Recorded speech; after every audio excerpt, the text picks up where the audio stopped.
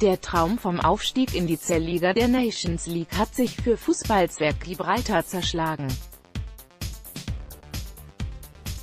Der krasse Außenseiter verlor daheim 2 zu 6 1 zu 1 gegen Armenien und hat mit weiterhin sechs Punkten keine Chance mehr auf den Gruppensieg in der Liga D.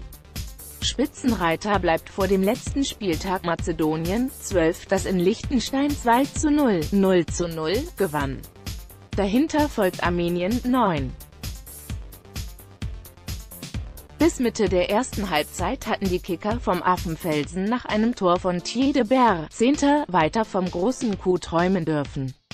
Doch viermal Jura Moses Jan, 27., 48., 52. und 54. sowie Arthur Karteschien, 66. und Alexander Karapetien, 90. sorgten schließlich für klare Verhältnisse.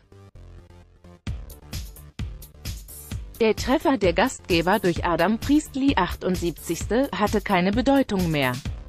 Gibraltar, das gerade einmal 35.000 Einwohner zählt, wurde erst 2013 in die UEFA aufgenommen. Indes steht Dänemark als dritter Aufsteiger in die Liga der Nations League fest.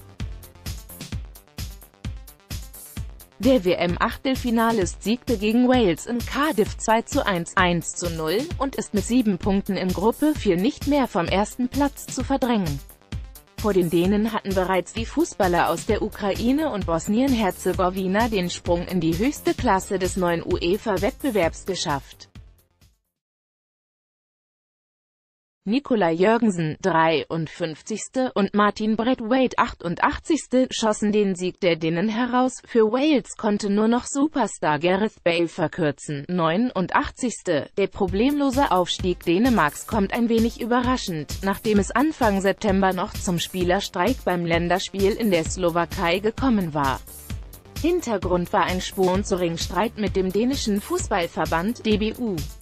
Danach hatten die Spieler aber ihren Widerstand vorerst beigelegt.